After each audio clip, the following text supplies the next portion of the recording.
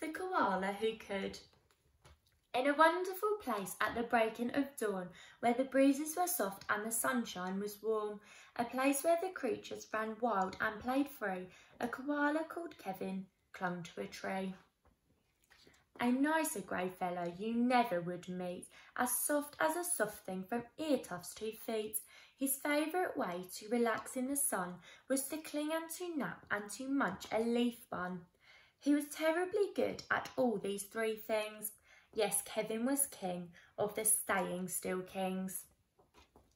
You see, high up was safe since he liked a slow pace, while the ground down below seemed a frightening place too fast and too loud and too big and too strange. Nope, Kevin preferred not to move nor to change.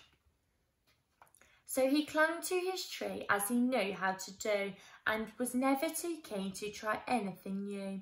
So when Wombat stopped by and shouted one day, Hey Kevin, why don't you come down here and play?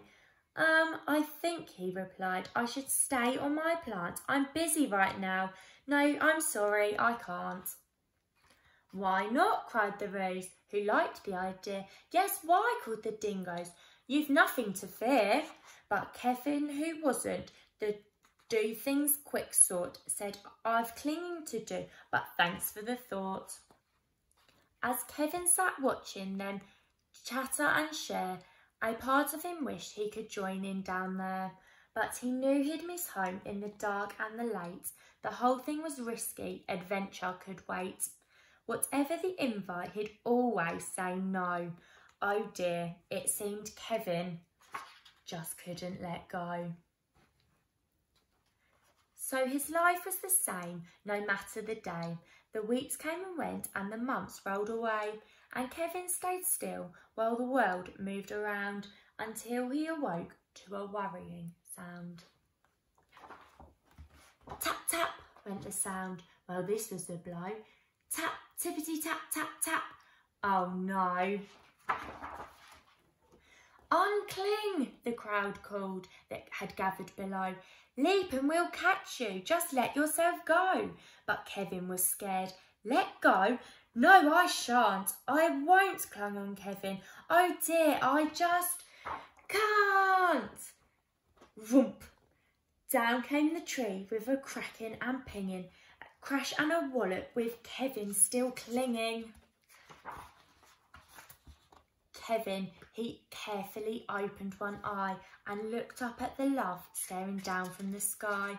Then one claw by one claw he slowly unclung. He felt springy and light and happy and young. The worst he could think of had now come to pass and he was just fine. Why, he felt quite first class. So when Wombat held out a most welcoming paw, Kevin didn't hold back anymore.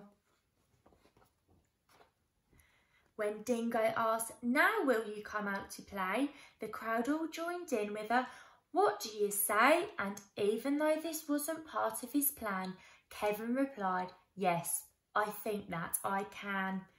And Kevin from then on was always can do because life can be great when you try something new.